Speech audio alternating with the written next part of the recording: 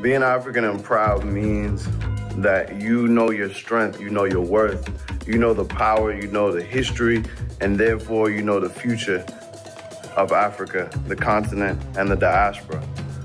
I'm African not because I was born in Africa, but because Africa was born in me.